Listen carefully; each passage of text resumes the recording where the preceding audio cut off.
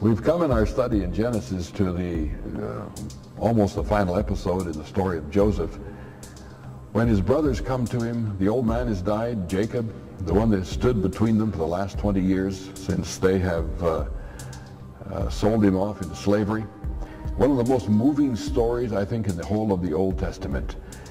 And uh, in good ancient Near Eastern protocol, they send a messenger uh, to Joseph uh, in case he refuses their request uh, for forgiveness for this transgression, as they put it.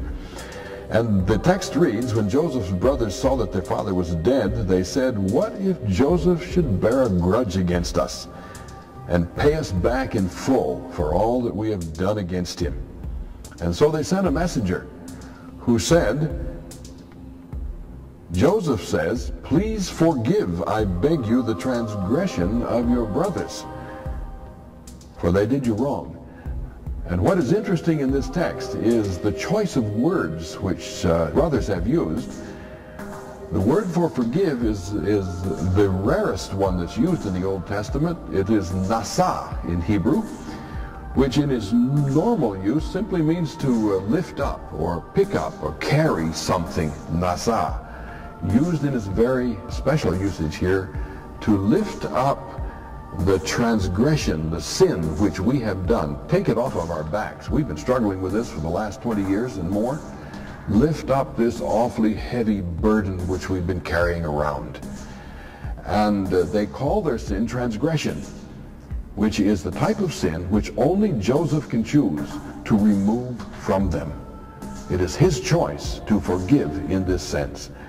And the text says, when Joseph heard this, Joseph wept. He cried. And he speaks to them in this text and says, Oh, am I in the place of God? And the text intimates that, yes, I am. I can refuse or not to take this from you, and he chooses to do so. And the beautiful part of the text is, he says to them, don't be afraid. I'll provide for you and your little ones.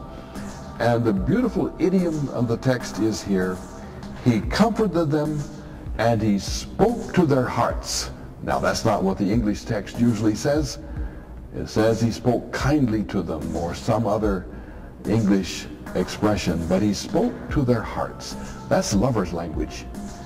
Joseph has restored them to full brotherhood. He has chosen to lift up from them, from their backs. And the implication in that term is that he never sets it down. He takes the responsibility for the wrong which they have done to him and now bears that responsibility for the rest of his life and frees them from the burden of that sin which they have done against him. That's a unique and very Old Testament concept of what forgiveness is. It is not something which we usually understand by forgiveness. A very beautiful concept of the Old Testament.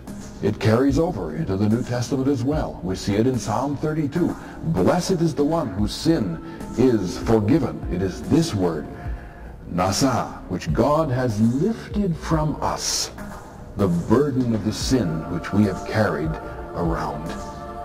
So when you read the story of Joseph, and his brothers understand that, this, this, is, the, concept, the concept of forgiveness, of forgiveness in this story. In this story. In this story. In this story.